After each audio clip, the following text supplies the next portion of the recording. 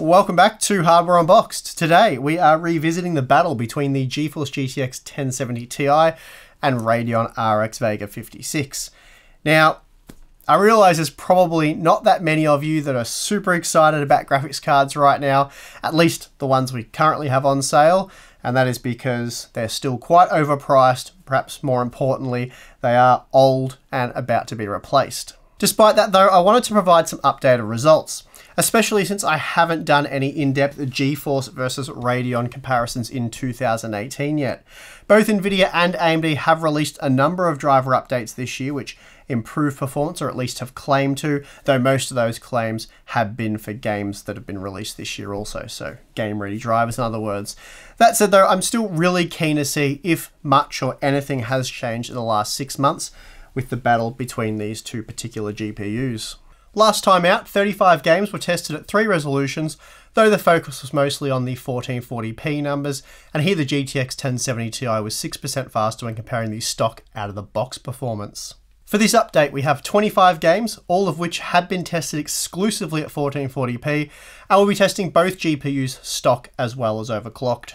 So it will be interesting to see if AMD's made up any ground here, for this comparison, I will be using our standard Core i7 8700K GPU test system clocked at 5GHz along with 32GB of DDR4 3200 memory. Representing the green team is the MSI GTX 1070 Ti Gaming X, and for the red team, well, the red team themselves with their reference Vega 56 model because I don't seem to be able to get anyone to send me a custom designed Vega graphics card. So with that, let's get to the results. First up, we have the Assassin's Creed Origins results, and here Vega 56 takes a bit of a pounding. The 1% low figure was 18% lower out of the box, and that margin was only reduced to 16% once overclocked. The average frame rate was a little more competitive, but still not a good result for the red team here. Next up, we have Arma 3, and here Vega 56 does do quite well, edging out the GTX 1070 Ti, both stock and overclocked. Not huge margins by any means, but the Radeon GPU was seen to be up to 5% faster. Moving on to Star Wars Battlefront 2, the game that grossly missed sales targets, and EA blamed the poor performance on the loot crate controversy. I wonder if Disney can use that excuse for Solo. Anyway, despite poor sales, Battlefront 2 is actually a really fun game, and a really well made game at that, and it plays really well on both AMD and Nvidia hardware. Stock performance was much the same, while the GTX 1070 Ti managed a 5% win once overclocked. Before everyone jumped ship to Battlefield 5 in October, we've still got time to feature Battlefield 1 in a few more videos yet. This is another example of a well-made title, and again we see very competitive performance. That said, the Radeon GPU was able to deliver higher frame rates, both stock and overclocked, though the overclock numbers were very similar.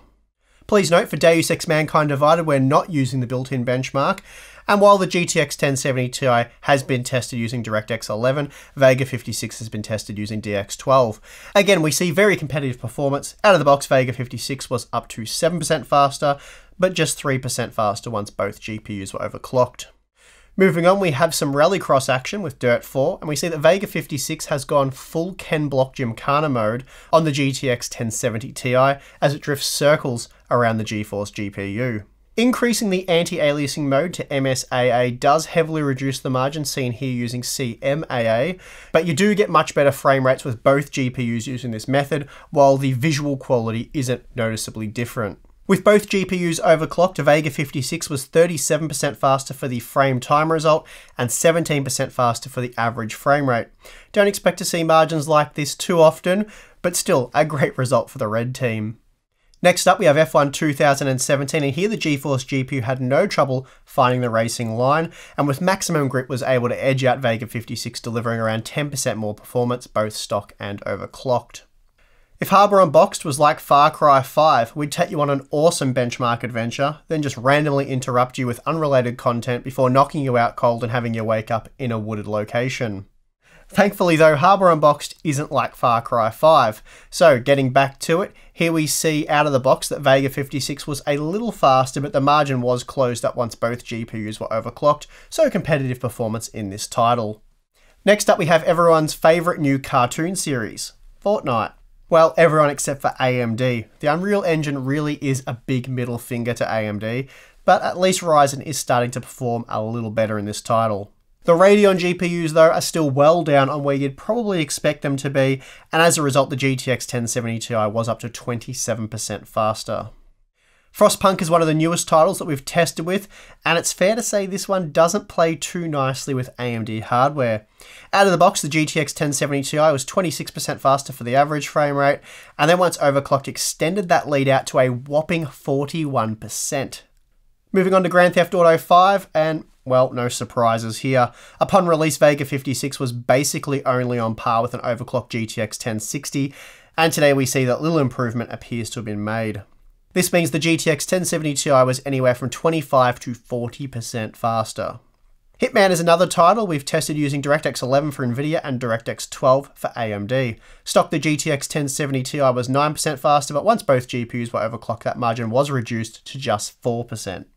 Another title released this year is Kingdom Come Deliverance, and here we see very competitive performance out of the box.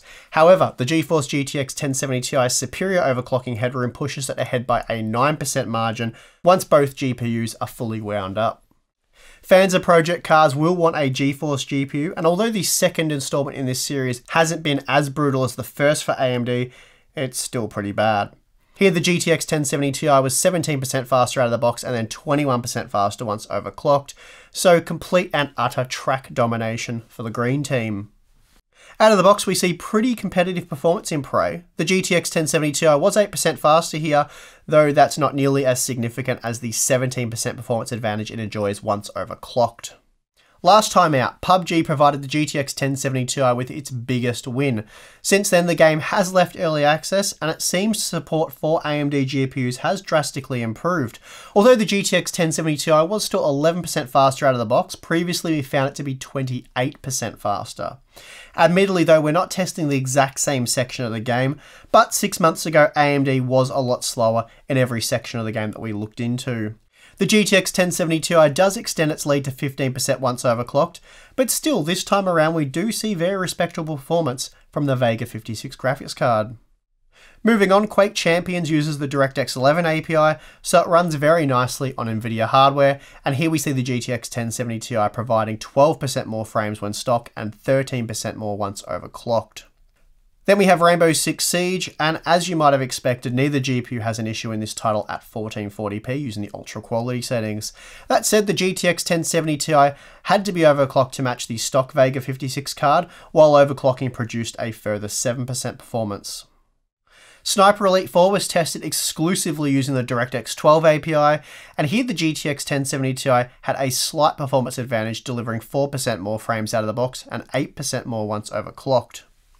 In case you're wondering, here's the sixth last game tested. Not sure why I pointed that out, so let's just move along. Middle-earth Shadow of War saw the GTX 1070 Ti deliver just 4% more frames on average when stock, and surprisingly once overclocked, both GPUs delivered the exact same result. For gamers wanting to put those 50 million mouse click claims to the test, I recommend checking out Vermintide 2. Then for the smoothest experience, you will want the GeForce GTX 1070 Ti, though I should note that Vega 56 does also do very well and was just 7% slower out of the box. Still, overclock the GeForce GPU did provide 10% more performance, and that'll certainly come in handy as you madly click away like a Red Bull infused toddler playing Minecraft. For a different kind of Warhammer experience, we have Total War Warhammer 2, and for this title, we've used the DirectX 11 API. Here, the GTX 1070 Ti was only a smidgen faster out of the box, but was 9% faster once both GPUs were overclocked. Almost wrapping things up, we have Ghost Recon Wildlands, and here the GTX 1070 Ti and Vega 56 GPUs do go toe to toe in their stock out of the box configuration. That said, as we often find once overclocked, the GTX 1070 Ti has the upper hand, and here it was now 9% faster. Second last game tested, The Witcher 3, and we have Hairworks enabled, but not maxed out for those glorious, free-flowing tech Jesus locks. Both stock GPUs average 60 FPS, and then again we see comparable performance when overclocked, so a very even battle indeed. Nvidia has made a number of performance improvements in 2017's Wolfenstein 2 The New Colossus. Upon release, Vega 56 was able to beat the GTX 1080 in this Vulkan based game. Today, though, it's a very different story. Performance is now far more competitive and shockingly the GTX 1070 Ti is now a little faster than Vega 56, so Nvidia really has made great strides in this title. Of course, nothing has changed when it comes to power consumption, but here are the numbers anyway for those of you who missed the original content. Stock, we see that Vega 56 pushed total system consumption 9% higher, which isn't that significant. However, once overclocked, the results are very significant, and incredibly, Vega 56 is now pushing total system consumption 29% higher. This is why Vega 56 owners prefer to undervolt Vega to save power while achieving stock-like performance. Okay, so we just saw a classic bit of AMD and NVIDIA back and forth, and we do know based on testing done six months ago that the GTX 1070 Ti is the faster of these two graphics cards, but the question is, has that margin changed today? To find out, let's take a quick look at the average performance from the 25 games tested. Okay, so not a lot has changed. This time the GTX 1070 Ti was 5% faster, not a huge margin by any means, Again, we see that the real advantage of the GTX 1070 Ti is the overclocking headroom, and with both overclocked to the max, the GeForce GPU was now 8% faster. Here's a quick look at how they stack up in the 25 games tested in stock trim. The GTX 1070 Ti enjoyed big wins in Frostpunk, GTA 5, Fortnite and Project Cars 2, while it was only notably slower in Dirt 4 and Rainbow Six Siege, and I suppose the good news for Nvidia here being that frame rates are still exceptionally high in those titles anyway. Overclock, things look much the same. The GTX 1070 Ti's lead overall is just extended a little further. Here it's now 8% faster on average at the 1440p tested resolution. Granted, 8% isn't a huge margin, and the margin itself doesn't really mean that much without a price attached to it. In a fantasy land where graphics cards could be had for or at least near the MSRP, the GTX 1070 Ti would cost 13% more than the Vega 56 graphics card, and technically that does make AMD's product the better value buy. Anyway, because we unfortunately live in the real world, or a Matrix type simulation, whichever you prefer. Neither the GTX 1070 Ti nor Vega 56 are available at the MSRP, though it has to be said prices are improving, particularly for the GeForce models. A graphics card sporting the GeForce GTX 1070 Ti GPU can be had for just under $500 US right now, though most are priced a little above $500 US. Still, that's only about $50 over the suggested price, and compared to where we have been recently, that's pretty good. Unfortunately though, Vega 56 pricing still high as a kite, and getting one for $500 US would be considered a real treat. At the time of making this video, there is just a single card selling for under $600 US, with everything else priced above. So if you're going after a more high-end type graphics card, the GeForce GTX 1070 Ti really is the best option right now. Of course, this video was more about what, if any, steps AMD or NVIDIA has made over the past six months with their drivers, and overall things appear to be much the same. It is difficult though to do a direct comparison as the testing hardware has changed a little and many of the games have been patched and upgraded multiple times and of course so has Windows 10, not to mention all the security updates which have impacted performance. Hopefully we'll know very soon what's on the way from Nvidia, and fingers crossed we learn something this week at Computex. If you're watching this video as it went live, there is a good chance I'm on a plane headed for Taiwan at the moment, and in the next few days we'll know what, if anything, Nvidia is announcing at Computex, so stick around for that news. And that is going to do it for this one. If you did enjoy the video, be sure to hit the like button, subscribe for more content. If you appreciate the work we do here at Hardware Unboxed, then consider supporting us on Patreon. You will gain access to our Discord chat and our monthly live stream. Anyway, thanks for watching. I'm your host, Steve, and I'll see you next time.